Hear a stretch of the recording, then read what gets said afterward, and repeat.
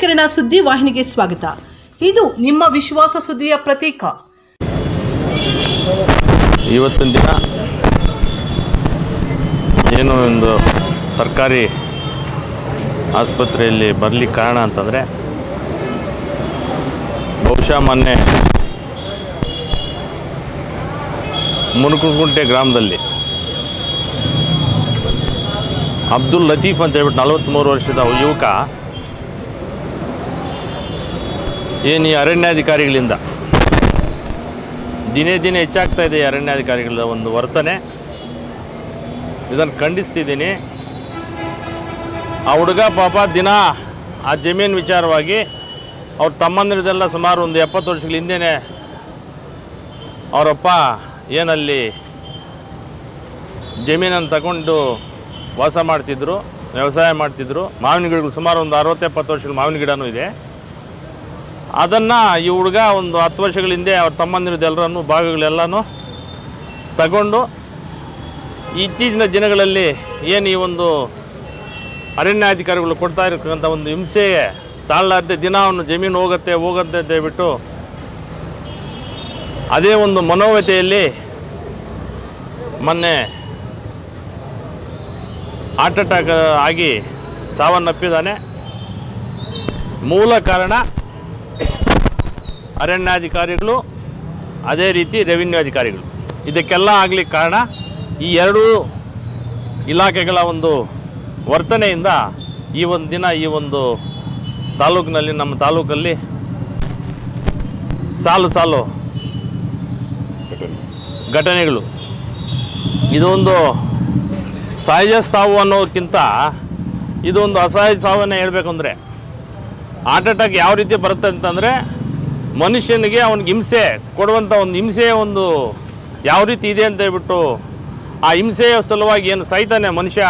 ಬಹುಶಃ ಅದು ಯಾರಿಂದ ಯಾರಿಂದ ಹಿಂಸೆ ಪಟ್ಟು ಅವನು ಸಾಯ್ತಾನೋ ಬಹುಶಃ ಅವ್ರ ಮೇಲೇ ಬೀಳ್ತದೆ ಇದು.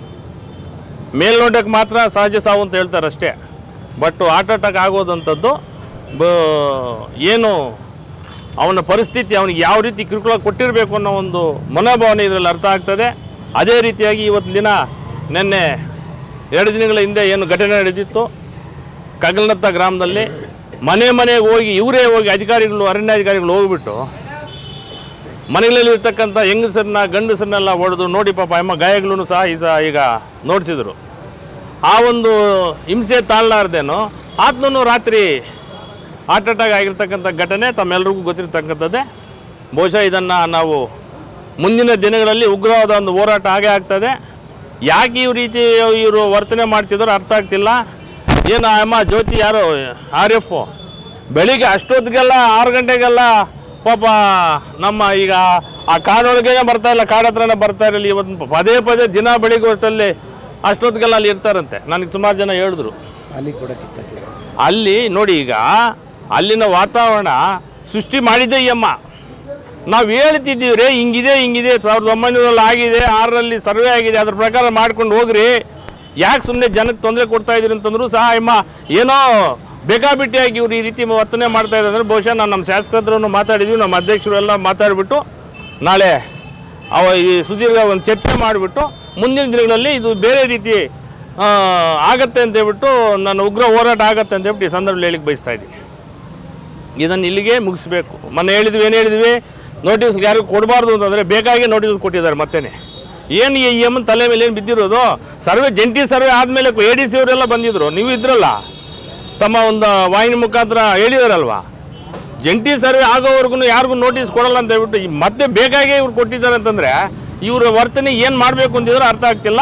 ಇದಕ್ಕೆ ಮುಖ್ಯವಾಗಿ ಅವ್ರು ಅನುಭವಿಸ್ತಾರೆ ಅಂತ ಈ ಸಂದರ್ಭದಲ್ಲಿ ಬಯಸ್ತಾ ಇದ್ದೀನಿ ರೈತರ ಪರವಾಗಿ ಹೋರಾಟ ಮಾಡೋರ ಮೇಲೆ ಕೂಡ ಎಫ್ ಅವ್ರು ಬೇಕಾಗಿ ಯಾರು ಈಗ ತಿಳುವಳಿಕೆ ಇದ್ದು ಯಾರು ಅದ್ರ ಬಗ್ಗೆ ಸುದೀರ್ಘ ತಿಳ್ಕೊಂಡು ಅದ್ರ ಬಗ್ಗೆ ಮಾತಾಡ್ತಾರಲ್ಲ, ಈ ಗೆಜೆಟ್ಟು, ಗೆಜೆಟ್ ತಗೊಂಬರ್ರಿ. ಯಾವಾಗ ಆಗಿದೆ? ಯಾವಾಗ ಸರ್ವೆ ಆಗಿದೆ? ನಿಮ್ಗೆ ಎಷ್ಟಾಗಿದೆ ತಂದು ಕೊಡ್ರಿ. ನೀವು ಯಾಕೆ ಸುಮ್ಮನೆ ಜನಕ್ಕೆ ಹಿಂಸೆ ಕೊಡ್ತಾ ಇದ್ದೀರಿ? ಬ ಬಡವ್ರಿಗೆ, ರೈತರಿಗೆ. ಎಕರೆ, ಎರಡು ಎಕರೆ ಇರ್ತಕ್ಕಂಥವ್ರಿಗೂ ಈ ಒಂದು ಹಿಂಸೆ ಕೊಡ್ತಾ ಇದ್ರೆ ದಿನಕ್ಕೂ ಎರಡು ಜನ ಇಬ್ಬರು ಸತ್ತೋದ್ರು. ಎಲ್ಲ- ಒಂದು ನಾಲ್ಕೈದು ಜನ ಈಚೆಗೇನೆ. ಈ ಎರಡು ಸರಣಿ ಸಾವುಗಳಾಗಿದ್ದಾವೆ ಘಟನೆಗಳಾಗಿದ್ದಾವೆ. ಇದಕ್ಕೆ ಯಾರು ಹೊಣೆ ಯಾರು ಮುಖ್ಯವಾಗಿ ಅರಣ್ಯಾಧಿಕಾರಿಗಳು ಮತ್ತು ರೆವಿನ್ಯೂ ಅಧಿಕಾರಿಗಳು. ಇದಕ್ಕೆ ಮುಖ್ಯ ಹೊಣೆ ಆಗ್ತಾರೆ. ಮುಂದಿನ ದಿನಗಳಲ್ಲಿ ಇವರು ಅನುಭವಿಸಬೇಕಾಗ್ತದೆ. ಅದರ ಮೂಡಲಕಿರಣ ಯೂಟ್ಯೂಬ್ ಚಾನೆಲ್ ಅನ್ನು ತಪ್ಪದೇ ಸಬ್ಸ್ಕ್ರೈಬ್ ಮಾಡಿ ಲೈಕ್ ಮಾಡಿ ಶೇರ್ ಮಾಡಿ. ನಮ್ಮ ಮುಂಬರುವ ಎಲ್ಲಾ ವಿಡಿಯೋಸ್ಗಳಿಗಾಗಿ ಪಕ್ಕದಲ್ಲೇ ಇರುವ ಬೆಲ್ ಬಟನ್ ಅನ್ನು ಒತ್ತಿ.